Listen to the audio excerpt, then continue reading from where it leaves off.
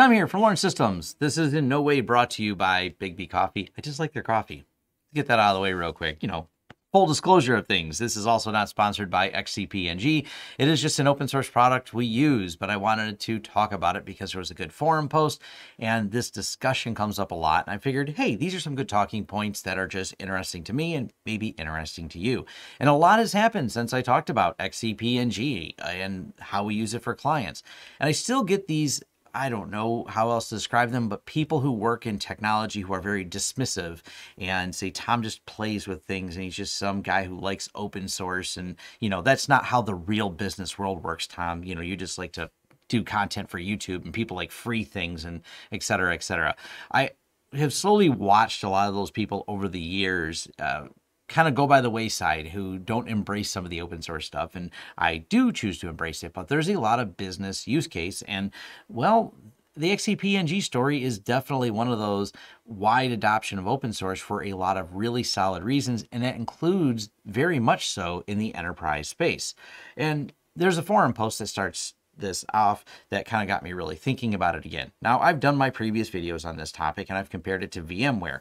And VMware is where XCP-ng really competes. And people think um, all the time, like, oh, I thought it was just some little home lab project and it's not really ready for the corporate space. The Xen server itself, the Xen hypervisor that this is all based on, is a very mature product and has been deployed in a lot of places. So it is not by any means just some hobby project get over here to the XCP-ng, it is actually based on the original how Citrix was doing things. Citrix proved not to be a good steward of that project, and uh, their move in licensing changes that confused people and kind of caught people off guard, well, that is a business risk. Technology is no longer just some tooling that companies use. It has become the lifeblood of how they operate. It's very integrated into large corporate processes.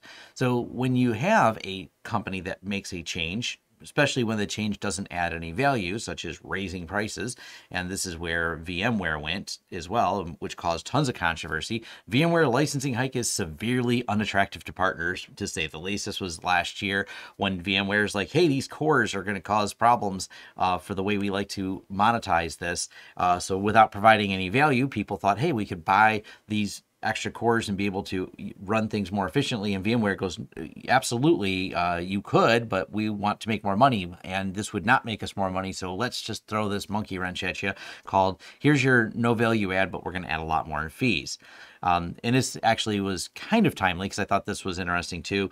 Uh, Wendell Level One Tech uh, did a great job talking about the new EPYC processors and a calculation that not everybody really stops to think about. It is the core cost of things like SQL. So now when you're buying a processor with the most cores, that seems like a good idea maybe when you're building your home lab, but if you have things that are very core dependent licensing, um, you can end up with a better value by buying something with a higher clock speed, less cores because of the way the licensing works on your SQL. I'll leave a link to the video. It ties in a lot of the topic. But before we get too far off topic, let's talk about this right here. Now, these are some strong reasons not just to use XCP-ng, but there are also strong reasons to use open source and have a better control over potential price hikes that you have no control over.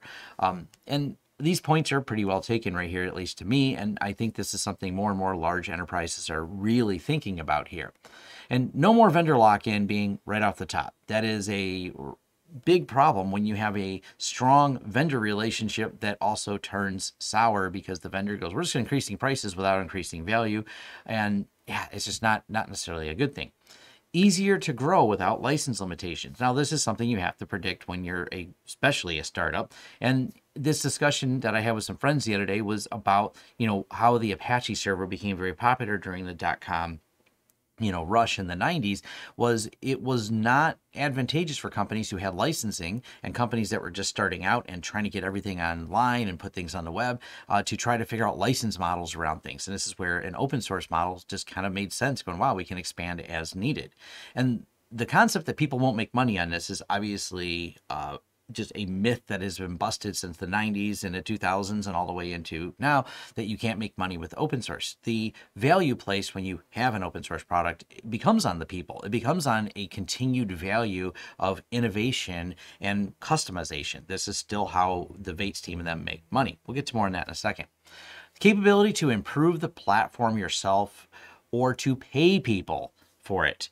Uh, good luck on doing that with VMware. Yeah, that's a really well taken point. And this is what happens. Uh, there are, of course, some people who grab some open source code and never contact the developers and will never hire them for anything. That's absolutely a thing that happens but they weren't going to pay for anything anyways and i you can't focus on well someone used it and didn't pay me that's not a good way to look at it if you keep innovating and you keep offering services and there are enough people you know i've done this on my channel many times i go in depth explaining how to do something and yet people still hire me and they frequently hire me based on some of the videos where i actually told them how to do it but they decided it would be better to hire the person that knows how to do it because well that's how actual business works.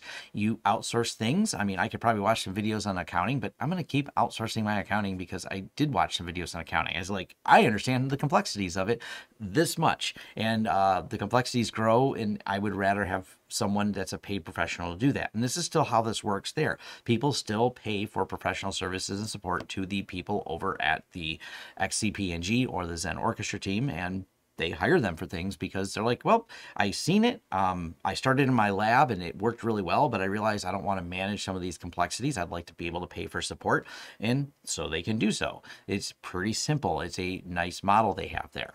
Um, more control on what's going on in the lower stack, unlike black box VMware. This is really important. It is people are always wanting to know what's going on, what are the things happening, and being able to, not saying everyone will audit the code, but being able to go through the code and modify it uh, for people who have an innovative idea. This actually allows that innovation to happen faster. When people want to build something on XCP-ng, but they go, you know what, I'd like it to do this or I'd like it to do that because I have a new business idea. It gives them a firm base to work on and then they'll have their idea and then they often will contract someone like the original team that wrote it to enhance it. And you know this goes right into the relationship xcp-ng is formed with a lot of very large hosting companies to build this into the infrastructure.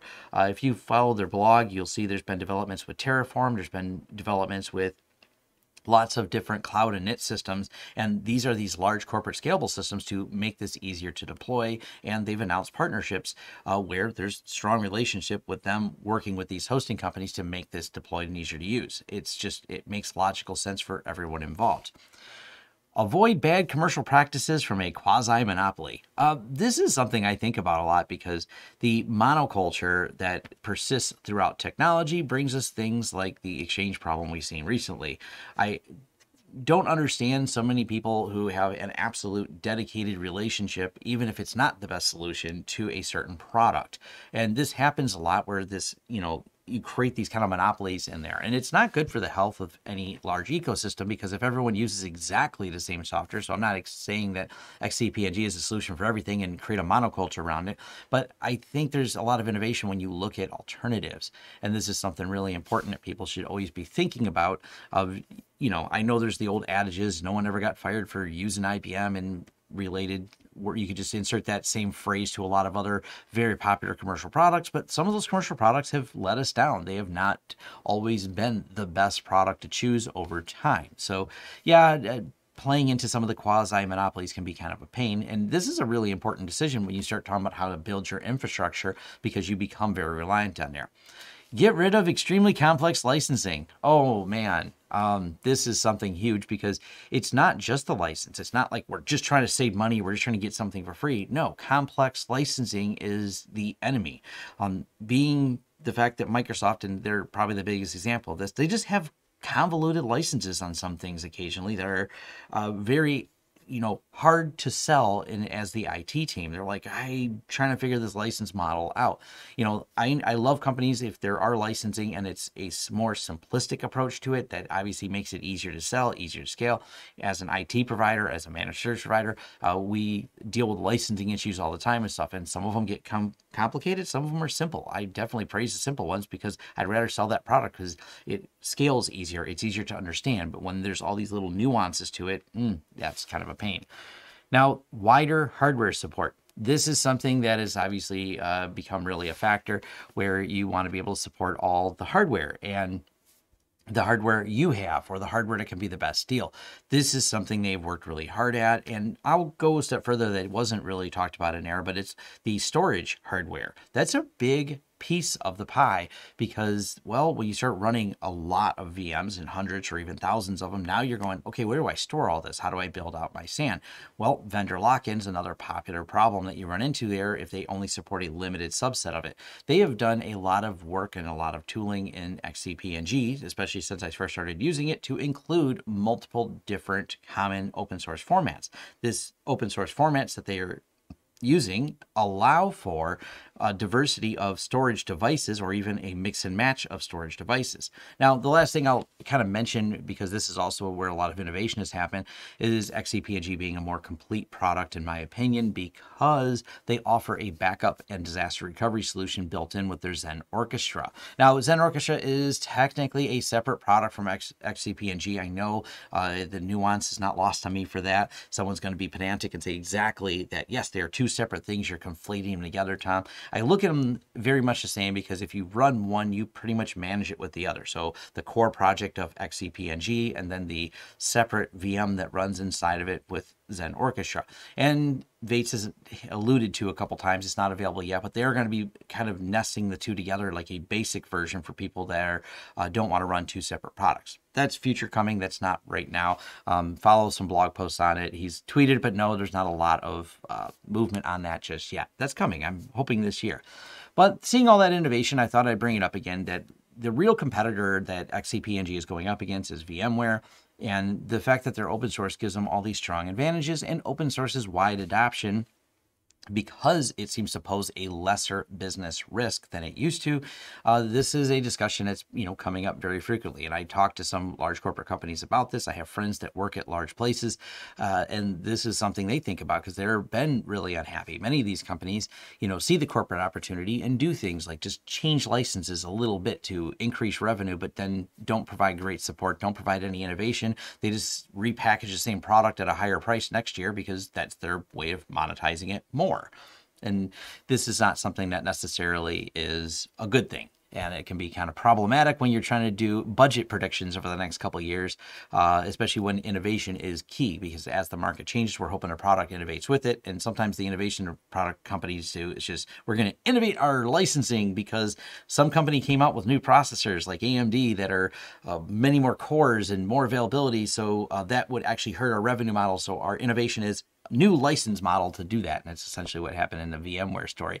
I'll leave a link to the level one video just because it's kind of a fun dive into that topic, how cores can affect licensing and performance and the way you budget for things at, at scale, especially when you talk about spending a half million dollars in SQL licensing on topic is, of course, I'll leave links to what uh, I just discussed here with XCP-ng and some of the other videos I have on the topic. Let me know your thoughts in the comments below or head over my forums for a more in-depth discussion.